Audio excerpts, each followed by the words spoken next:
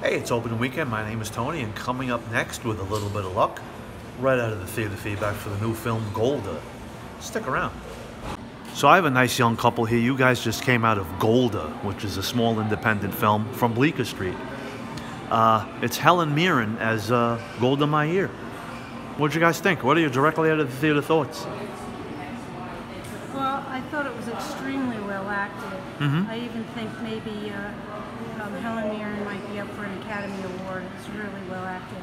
And um, I was young at the time when that happened. I think I might have been in sixth or seventh grade. Okay. So it was a real eye opener to me. I knew a little bit about it, but I think this uh, film uh, showed the um, the war in, in terms of the Israeli perspective, which I didn't really know a lot about. Forgive me, I don't know my history. I had to read the synopsis of the film in the AMC app. It was the Yom Kippur War. It was Yes. 1973. I, I know Helen, um, Helen Mirren, Right. uh, Golda Meir, but you know, was it was it accurate? Was an ac- was it an accurate depiction?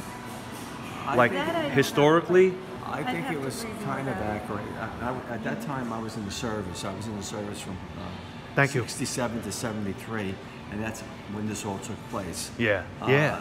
I, I think that it's important to make the, make movies about historical things that took place, because a lot of people don't really know what's going on. They just sleepwalk through it.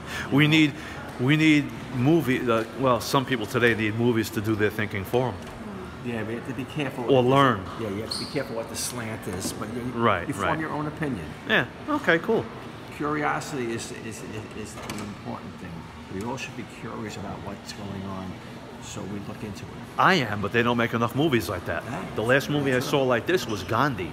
Yeah. and that was 100 years ago when I was, you know, small. All right, you guys. So you guys enjoyed it. Yeah. Yeah. Well, thanks a Very million for interesting.